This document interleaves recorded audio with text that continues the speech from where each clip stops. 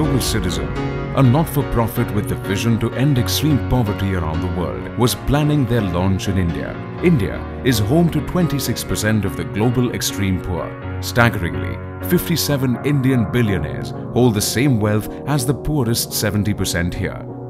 Despite these numbers, India as a country is quite indifferent to its poverty problem. To add to this challenge, before we announced Global Citizen's entry in India, our story was preempted and nearly lost in the excitement of Coldplay visiting for their first ever concert.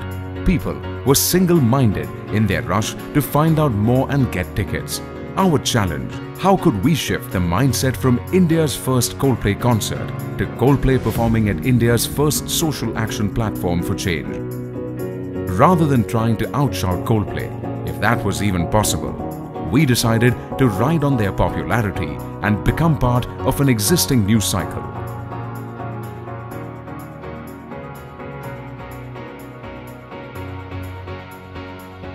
We set out to inspire people, especially the 800 million Indian youth, to embrace this movement for change, participate in the action journeys, be a true global citizen and rightfully earn their tickets to watch Coldplay perform live at India's first Global Citizen Festival.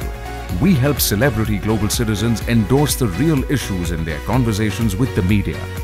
We spoke about and with our partners, we brought to light commitments made by the government. We manage politically led media issues and crises. On the day of the 8-hour festival, we crafted messaging to leverage the collective voices of the public figures who address the many thousands of global citizens.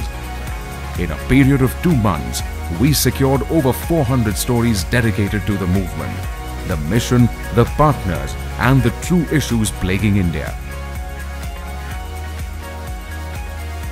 This led to the momentum that generated commitments worth of US dollars 6.38 billion through a sustained communication plan our efforts contributed in bringing over 4 lakh young Indians to lead change in what is India's largest youth social movement.